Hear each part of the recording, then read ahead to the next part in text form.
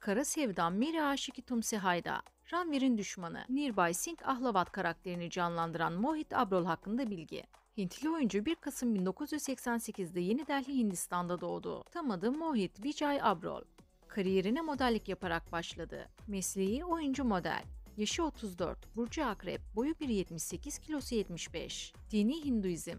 Hobileri gitar çalmak, spor yapmak, seyahat etmek, oyuncu alkol kullanıyor, sigara kullanıp kullanmadığı bilinmiyor. Okul yıllarında tiyatroda yer aldı. İlk dizisi 2014 yılında yer aldığı Balika Badu ikimizin yerine, karakteri Anuç. Oyuncu nişanlanmıştı ama sebebi bilinmeyen bir nedenden dolayı nişanlısı Manse Srivastav'dan ayrıldı. Çift 8 yıldır birlikteydi. Bu ayrılığı Manse kaldıramadı ve uyku hapı içerek kendisine kıydı. Hastaneye kaldırılan Manse 3 gün yoğun bakımda kaldı. 3 gün sonra bilinci yerine geldi. Oyuncu futbol oynamayı ve